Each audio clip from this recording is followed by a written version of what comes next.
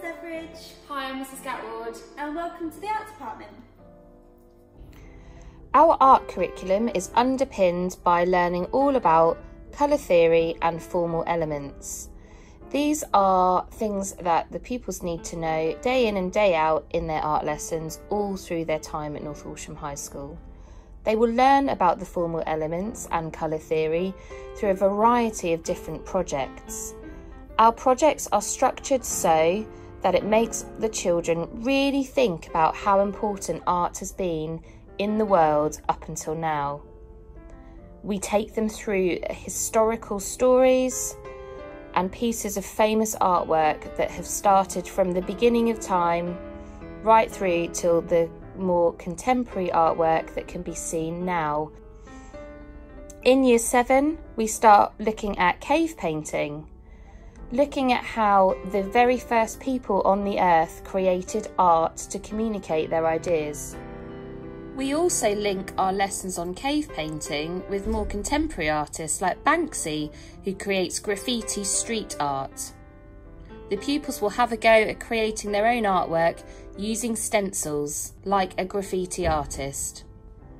We move on to looking at Greek pottery, and we're so lucky that we've got fantastic kiln facilities that the pupils will be able to discover how to use clay themselves in the very first term being at North Walsham High School.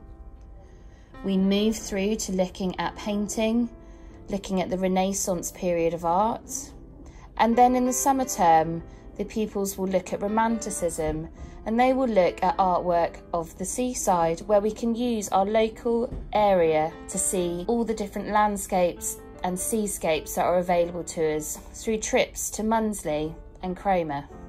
So I'm now going to take you around the room and explain what equipment that we have. So we've got the printing press. Again, this is what makes um, printing and patterns. And then we've got the heat press.